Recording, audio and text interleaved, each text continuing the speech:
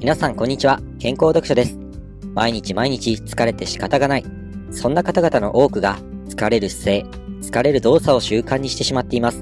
そこで今回は立ったり歩いたりなど疲れない体の使い方についてご紹介しようと思います。今回の動画はメディカルトレーナーの夏島隆さんが書かれた疲れない体大図鑑という本の内容をもとにご紹介してまいります。著者の夏島さんは人体解剖学、動作解析学、合気道を筆頭とした古武道などの日本の伝統的所作をもとに日本人の骨格や筋肉の構造に適したスムーズな動作を手に入れる方法を考案しました。まさにこの本は疲れないための人体の取扱説明書と言えるでしょう。疲れない体の使い方を知ることは一生の財産になります。ぜひ最後までお見逃しなく。疲れやすい姿勢、動作。立ったり座ったり歩いたり、姿勢や動作で疲れる方の多くは、体のバランスが悪いがゆえに、重力による体の重みが部分的にかかり、それらの筋肉や関節に負担がかかってしまっています。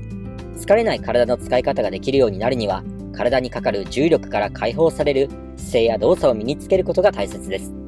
それでは、日常における基本的な姿勢や動作について、疲れない体の使い方をご紹介してまいりましょう。疲れない基本の立ち方。最も基本的である立つという動作ですが、多くの人ができていません。できていないというと語弊がありますが、例えるなら、ボールは投げれるが、プロ野球選手のピッチャーのように、早く投げれず、肩を痛める投げ方をしている。歌うことはできるが、歌手のように上手に歌えず、喉を痛める歌い方をしている。といったように、立ててはいるが、重力から解放されず、体に負担のかかる立ち方をしている人が多いのです。ではどのように立てば体は疲れないのでしょうか？それは地面に対してまっすぐ垂直に立つ必要があります。猫背の人は耳が肩より前に出ており、肩が骨盤より後ろにあることで、背中を丸めてバランスをとっています。このような地面にまっすぐではない立ち方では、首、肩、腰に重力による緊張が起こり、ダメージを負ってしまいます。地面に対してまっすぐ立てている状態とは、足の真上に骨盤があり、骨盤の上に頭があります。そして体の側面を見てみると、耳、肩、骨盤、足が一直線になっています。このような疲れない立ち方をキープするためには、今から説明する4つのポイントを意識しましょう。1、お尻に軽く力を入れる。お尻に軽く力を入れると、自然と骨盤が前に出るため、足の真上に骨盤が起きやすくなります。2、胸を張らず肩を下げ、肩甲骨を背中の中心側に寄せる。胸を張りすぎると腰を反ってしまいやすいので、胸を張らず肩の力を抜き、肩甲骨を背中の中心に絞るイメージをして立ちましょう。母子球を浮かせて、足の指を猫のようにして踏ん張る。母子球に体重がかからないように、10円玉1、2枚分浮かせるイメージをしましょう。4、足を肩幅程度に開き、左右の足の中心に体の重心が来るように立つ。重心を中心にすることで、左右どちらかに負担がかかることを防ぎます。以上のポイントを意識して立ってみると、まるで重力から解放され、心地よく立つことができるはずです。スマホ首にならない方法。今、この動画をご覧になっている皆さん、首を突き出して動画をご覧になってはいないでしょうかスマホ首は、現代人の猫背や肩こりの大きな原因の一つであると言えるでしょう。体に負担のかからない正しい姿勢でスマホを操作するだけで、もしかしたらあなたの体の不調が改善するかもしれません。では、スマホ首にならない、疲れない体の使い方をご紹介してまいります。1、先ほど紹介した疲れない立ち方をキープしましょう。2、手首を伸ばし、肘を胴体につけて操作をします。手首を曲げないだけで疲れが軽減します。3、斜め前方向で操作をしましょう。スマホ画面を天井に向けるのではなく、斜めに自分の方に向けることで、巻き型にならず疲れない姿勢をキープしやすくなります。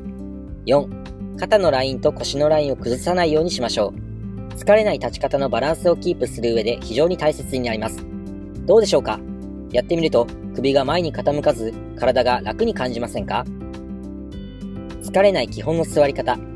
なんと日本人は世界一座っている時間が長い国民だと言われています。肩のラインと腰のラインが平行になっていない背もたれに寄りかかったような座り方で長時間座っていれば体のあちこちにダメージが来てしまいます。それでは疲れない座り方を男性向け、女性向け、それぞれご紹介してまいります。男性向けの疲れにくい座り方。1、背もたれまで深く座りましょう。2、両膝と両足首を共に開きます。3、足を椅子の前に置き、膝の角度を鈍角にしましょう。4、足の裏全体を地面に置きます。女性向けの疲れにくい座り方。お次は女性向けの座り方のご紹介です。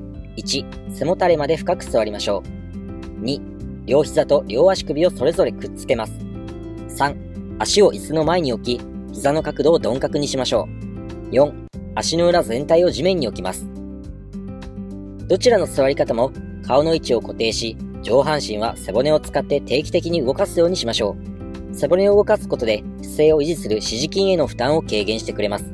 これらの疲れない座り方で、もし疲れてしまうような方は、四肢筋が衰えている恐れがあります。疲れることで鍛えられているとも捉えられますので、できるだけ継続してトレーニングしてみましょう。疲れない基本の歩き方。それでは最後に、疲れないための基本の歩き方のご紹介です。歩く際、ほとんどの人が、かかとから着地をし、足の指の付け根を折りながら力を入れて、足を前に振り出して歩いています。このような歩き方は、ふくらはぎの緊張が強くなり、疲れや痛みをもたらしてしまいます。さらに、この歩き方で大股で歩いてしまうことで、かかとへの衝撃が増し、疲労感も増してしまいます。疲れない歩き方の基本とは、かかとから着地をしない、大股で歩かないことであると本書でご紹介してあります。それでは、歩き方の具体的な方法をご紹介してまいりましょう。ポイント1、骨盤幅で歩く。骨盤幅の測り方は、両足のかかと同士をくっつけた状態で、逆ハの字につま先をできる限り開き、つま先同士の横幅で測れます。前に踏み出す際の足は、そっと引き上げて、体の少し前に落としましょう。ポイント2、かかとからではなく、足の裏全体で着地するようにしましょう。その際、足の指で地面を掴むようにしましょう。ポイント3、前足の着地と同時に後ろ足に残った足をスッと引き上げましょう。引き上げる際の足首は伸ばしましょう。ポイント4、常に着地している方の足に体の重心があるようにしましょう。耳、肩、骨盤、着地した足を一直線にするようにしましょう。以上が疲れない基本の歩き方の具体的なポイントになります。長い歴史の中で人類はずっと岩場や道ならぬ道を歩いてきました。そういった環境では靴を履いていなければかかとから着地して歩くことは難しいでしょう。